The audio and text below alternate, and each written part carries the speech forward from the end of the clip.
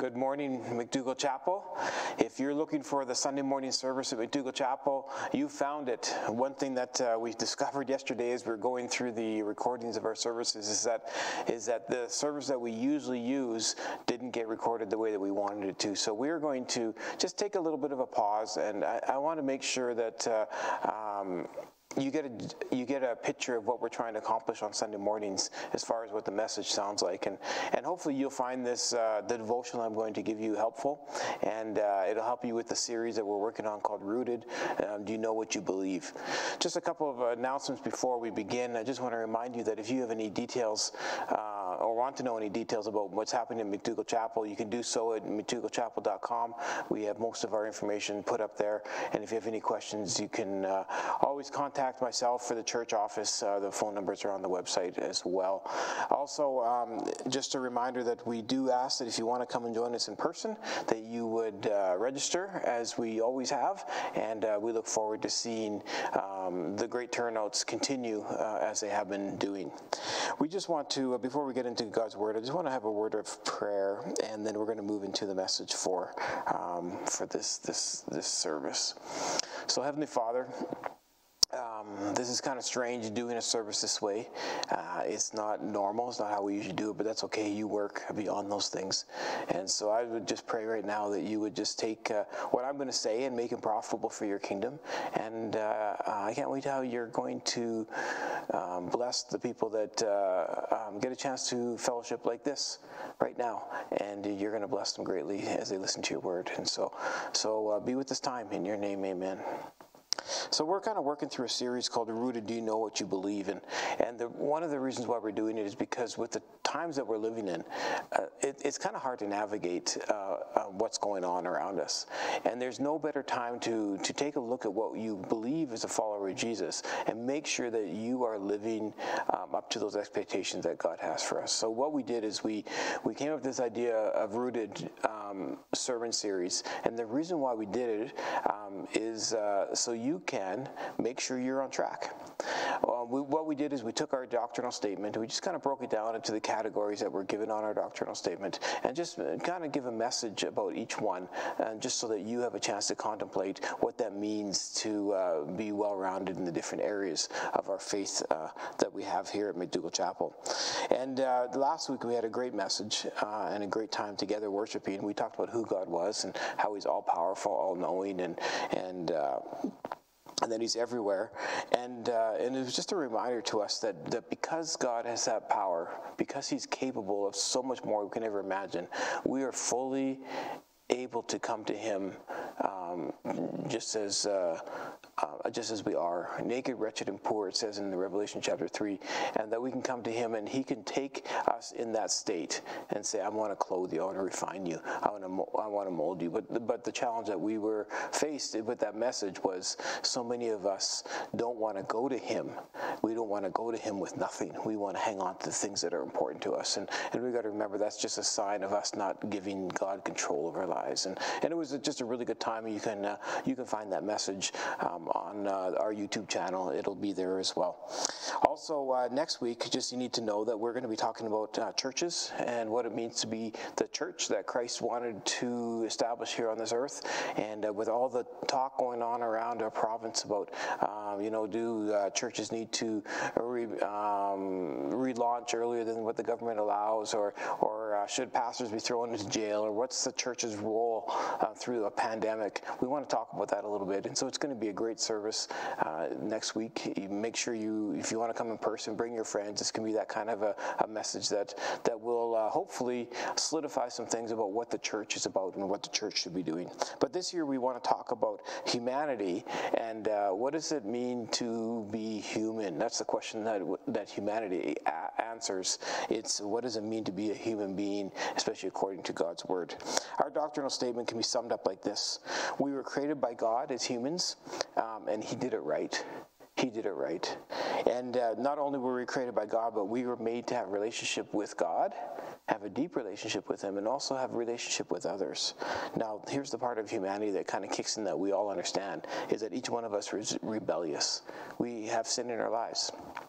So as a result, even though we're created uh, perfectly in God's image, and he, he, didn't make any mistakes with any of us, what happens is, is that is that our relationships, because of sin and because of a rebellion, suffers. So our relationship with God suffers, our relationship with each other suffers, and as a result, Christ, being all-knowing and all-loving and all-caring, because of who God is, he he came up with a plan to help with that, knowing that that would happen because we have free will. And so what he did is he sent his son Jesus Christ to die on this cross to be an atonement for our sins and our rebellion. And as a result, we can have our relationship restored not only to people around us, but also to God Himself. So here's the difficult part. If God had a great plan like this for humanity, and it truly is an amazing plan because it gives us freedom. All of us gives us freedom.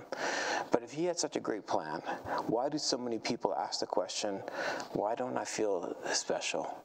If I was made in God's image, if that is part of what humanity is to be made in God's image, why don't I feel very special? And and I think the challenge that that we need to look at, and uh, this is kind of a thought that I had, is, is that we need to, if we want to understand about what humanity is in God's eyes, we have to understand who we are in God's eyes and stop looking at ourselves through our own eyes.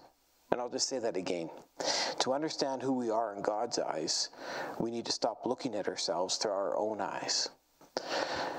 I don't know if you know, and I've heard this from many pastors before, but um, we all have labels that we attach, our, attach to ourselves. We have labels that are, are uh, um, maybe correct, and maybe they aren't correct. We all have labels. As a matter of fact, I look at my life and there's labels that I've attached to myself. When I was a kid, I, I, I, always thought that I was super shy. So if you were to ask me who I was, I would say I'm Kent, the shy guy. And that's just the way it was. I was extremely shy around a kitchen table. If we had company over as a child, I would not talk to anyone. I wouldn't look anyone in the eyes. I just was was just super quiet that way. Just didn't have a lot of confidence. Now, as I got older, um, I started to change, and people saw, started to see me differently. I started to see myself differently. And uh, one of the things that if you'd ask my wife today, um, what would a label that Kent would have? It would be Kent the. Uh, I got to think of a good one that would be accurate. I think the most accurate one would be Kent the Amazing. I don't think there's anything any doubt about it. Well, she's not here anyway. The room is empty. So so basically, I'm going to say that she would say that's Kent the Amazing. One thing we have at this church is we have some interns, and uh, and I was thinking about that this week. What what, what would they label me as? Who would they call me? And I think they would call me Kent the perfectionist. And, and I think there's a negative and a positive to that, that label. Um, the negative being um, everything they do, it just seems like they must feel like I just badger them and says, I think it can be done better. And I think we can uh, strive for uh, a, little, a little better quality in some of the things that we accomplish as interns around the church. But also, um, you know, the good of it is that they get a really chance to be challenged. So, so I'm okay with that label. Uh, I'm going to work on trying to be very uh, um, accommodating to them, um, knowing that not everyone has the same mindset that I do. But but Kent, the perfectionist, probably what they would call me. But how do I see myself? That's even a bigger question. Other people can see me a certain way, and that's okay. That's that's their choice. But how do I see myself? I think I see myself, if I was to be totally honest with you, as Kent the inadequate. Kent the inadequate. And, and the reason why is because every morning when I get up, I, and I tell this to Jody quite often, I just say, I don't think I am good enough for what I'm doing. I don't think I'm, I'm a strong enough leader, and I don't think I'm smart enough, and, and I don't know if I'm I can lead this church through this time of COVID. And I and that thought comes into my mind so many times, and that's a label that that I've kind of put onto myself, and I know what the truth is behind it. I know through God's grace um, that I'm capable of some amazing things, and and I also know that where I'm weak, um, God is strong, and so I understand those things, and I push through because uh, I certainly haven't stopped pushing yet. But that's the label that I really fight in my life is that that I'm not good enough. So here's the question I have for you What label have you put on yourself that may or may not be true, but is causing you to um, think negatively of yourself? What do you call yourself inside your brain?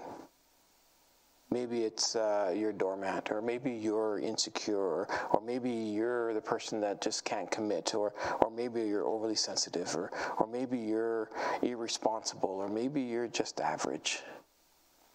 But whatever that label is, that's not who Christ sees you as. You are made in his image.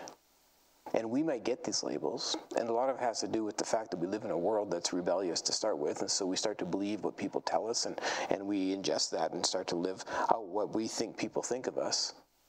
But that's not how God sees us. As a matter of fact, there's a passage in, in uh, um, 2 Corinthians 5.17. It's in the wall behind me. It's kind of our theme for this year. Um, but it goes like this, and I'm going to read it from the New Living Translation. The passage behind me is from the NIV. But it goes like this. It says, if anyone belongs to Christ,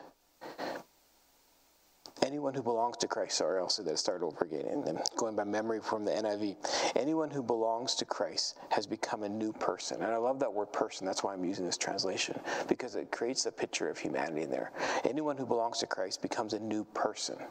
The old is gone, a new life has begun. I don't know if you've thought about that passage before, but when it comes to how we think of ourselves, no matter who you are, no matter your past, if you belong to Christ, you become a new person. That's mind blowing to me. I have a hard time wrapping my mind around that sometimes because I look at myself as Kent the inadequate so many times, but that's not how Christ sees me. I belong to Christ, and He sees me as a new person. And as a matter of fact, the old me is gone. It's not just still there beside me, and uh, I can pull it up and use that label anytime that I want. It is gone, and the new Kent has come, the new person has come. So when we start to think of this idea of new and becoming a new person in Christ, you, you know, what does that mean? Well, it means a lot of things, but really it can be summed up in, in, in uh, uh, three different ways. Um, you get a new identity in Christ. Um, that's the new person part that we talk about in Second Corinthians. But there's also the you get a new future and a new purpose. I remember when I was a kid playing high school basketball in grade 10 and I made the varsity team in Stettler, Alberta. That's where I played uh, some of my high school career. And uh, um, I remember so clearly being just this this skinny little guy. I'm not very tall, and, and I felt not very, you know, I just made the team. I, I thought in my mind by the skin of my teeth, and and uh, just worried about would I be able to uh, please the coach well enough to be, get some playing time, and those kinds of things went through my head all the time. I was just average. And I remember going to a, a, one of our first games of the season. It was in Drumheller, and Drumheller had a player who was who was so good. He could shoot from anywhere. He was a guard that played the same position as myself, but he was probably about three or four inches taller than me, and just a really solid player. And he was in grade 12, and and uh, he had a man body. I had a little junior high body, and he had a man body. He, there's such a difference in our in our in our. This even just the size of us, but his skill set, set and his experience was so much greater than mine. And uh, I remember watching him in warm-up, going, oh, I don't know if I. I hope I don't have to cover him if I get on the court.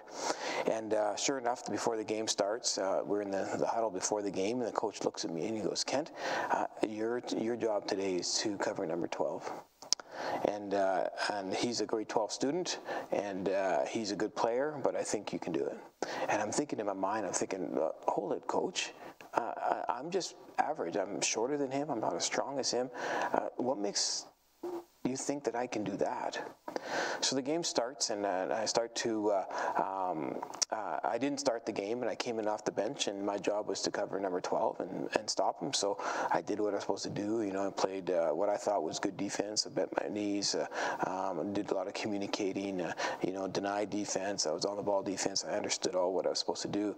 But every time this player got the ball, he scored without a doubt, he got the ball and he just walked around me. He would, uh, or he shoot a jump shot over me, whatever it may be. And it was just like, oh, there I go. There's average Kent. And it was halftime. Coach looks at me and goes, Kent, what are you doing? Like, like, why are you playing so poorly? And I and I just said to him, I said to my coach, I was very honest, and I just said, I said, look, coach, I'm just average. I'm grade 10, he's grade 12, he's got way more experience, he's stronger than me. And, and the coach took me by my shoulders, he looked at me in the eyes, and he says, Kent, you are not average.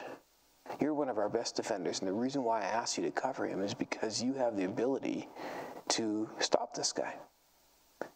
And I had to think about there, right there on that spot, right there on the bench, thinking, thinking maybe I can do this. My coach sees this in me, and he's giving me this label. Why can't I be the person that stops this basketball player?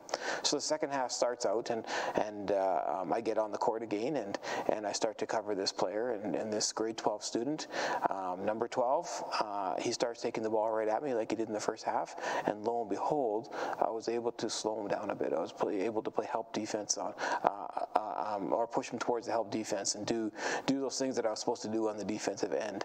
And in the end, um, um, he was still a great player, but I started to realize that, you know what? Maybe I'm a better defensive player than I thought I was. And that label that I'd given myself wasn't even accurate.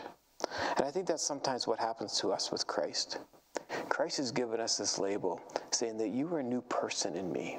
You have a future, you have a purpose, you have a new identity. And the thing is that we know those things in our words and we hear them in God's word, but when it comes down to living our life as followers of Jesus, we don't actually follow through with it because we don't believe it. There's, there's got to become a time in our lives where you realize, and we all realize, that in our humanity, in our brokenness, God still believes in us, that we have potential that we are new and we're made new in him. There's a great story in the book of Matthew um, about a guy named Simon. Simon was one of Jesus' disciples. He was uneducated, he was a fisherman, he was unstable and unpredictable.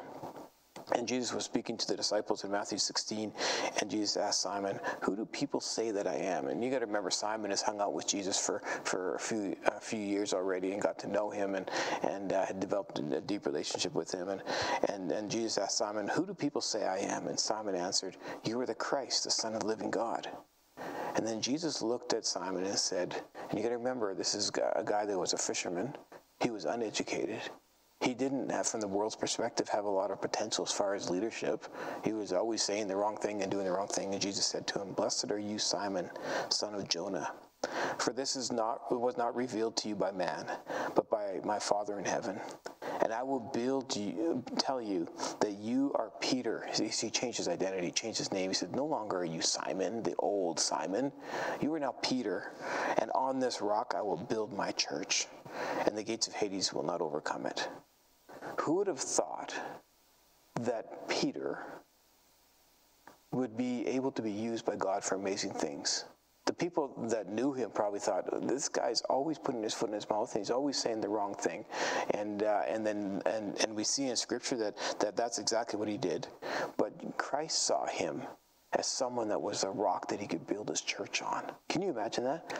The very reason why we meet today in this building on every on Sundays, and the very reason why people meet all over the world has a lot to do with the fact that Peter when he was called upon, when the day of Pentecost came, and and uh, um, and someone needed to give a message, it was Peter that was able to do that the same guy that denied Christ three times, the same guy that kept uh, um, being a little too aggressive when he shouldn't have been so aggressive. But he was the one that was the rock that the church was built on.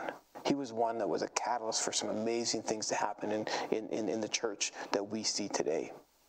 It was Peter. Was Peter born a rock? Was he born in that position to say, hey, you deserve that label? Of course not. But as he grew in Christ and as he grew in his walk with the Lord, he became that person. He had a future because he became new in Christ. Think about your greatest weaknesses. I want to tell you that God can make those your greatest strengths. He can make you make he can take take what you think of yourself as such a weakness and he can make it something truly amazing. I know that uh, so many times we we we think that our labels are who we are forever. The reality is, is that those are just, you know, you know part of the part of the way that God helps us learn and, and He teaches us and He molds us through our weaknesses. And as we start to depend on Him, it's the amazing thing that happens is that the the the the image that God sees in us right from the beginning, right from the womb, it starts to come true, and He and it hasn't changed at all.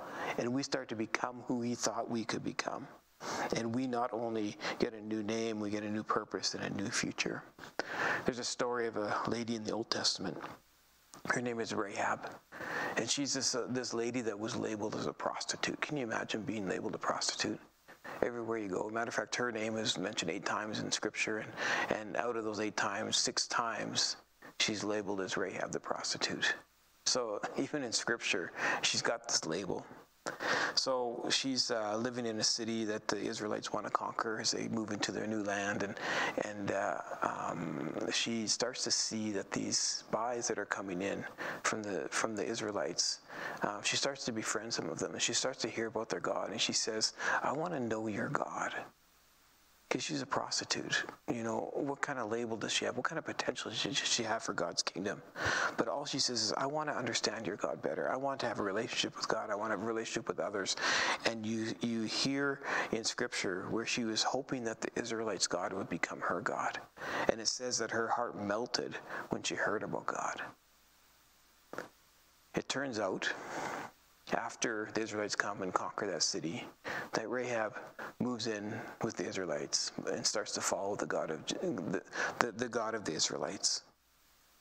And she marries a God-fearing man named named named Salmon, and Rahab, the prostitute, ends up becoming the great, great, great, great, great grandmother of Jesus Christ.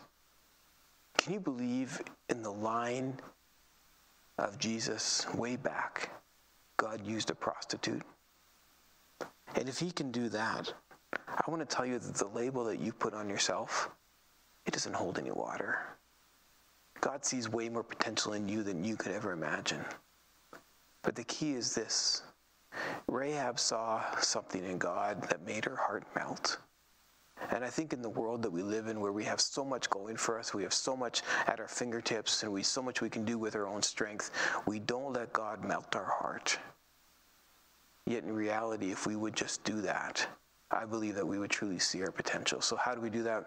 Just to wrap up, I just want to remind you of Philippians chapter 3, verse 13 and 14. Paul's being persecuted, he's in prison, times aren't very good, and he says this Forgetting what is behind forgetting what is behind. Okay, so think about it. Who were you before Christ? Now you belong to Christ, you become new. What is behind you? Forgetting what is behind and straining toward what is ahead. Okay, the future that God has for you.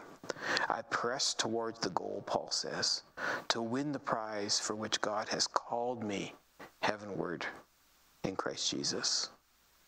And I think that's that's a, a, snapshot of the picture that we need to we need to hold on to it in our brains. That's the posture that we need to have. Is that what is behind that label that we used to have? We are not that anymore. God sees us so much differently than we see ourselves, and we need to deliver. We need to say that label that's behind me, and it might not happen overnight. You might have to work at it. You might have to go to counseling. You might have to seek help. It could be so many different ways to start to eliminate that label. But you need to start forgetting what is behind and strain forward to what God has in for us, before us, straining for what's ahead, and that's to um, live out your potential as a follower of Jesus, a follower of Jesus Christ. So hopefully this has been an encouragement to you. This is something that I've been kind of learning as I, uh, I'm, I'm Kent the inadequate so many times, but I'm learning that that's not how God sees me. He sees me as so much more, and He's giving me so much more, more than I think I can even handle sometimes, and He would do the same for you. And I can tell you without a shadow of a doubt, in my journey as a pastor, not once has my God thrown me under the bus. Not once has He left me high and dry. He's always been there with uh, with people around me, or wisdom I don't didn't deserve, or or uh, an ability that I thought I didn't know I had. That there's something that happens that God shows that He's walking with me, and He can do the same for you. But you have to remember, and it's that sign that says this. Therefore, if anyone is in Christ, the new creation has come. He's become a new person. The old is gone. The new has come. And that's your story. It's my story. It's who we are in Jesus Christ. Let me pray for you. Heavenly Father, for those that are listening today, I just pray that. Uh, um, you would just minister to their hearts today through your word. And I just pray that the devotion that I shared today would be one that uh, would be of encouragement and would give people hope. And for those labels that people are holding, Lord, I just pray that they would be gone. That's the old you. That's the old them. And that has been eliminated when we said we belong to you. We become a new person.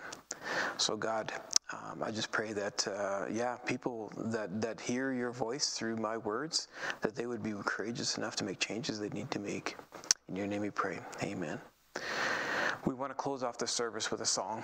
Um, this isn't normal church. Like I said, uh, um, our equipment didn't work very good on Sunday, so we've had to redo this uh, recording, but hopefully it's been beneficial to you.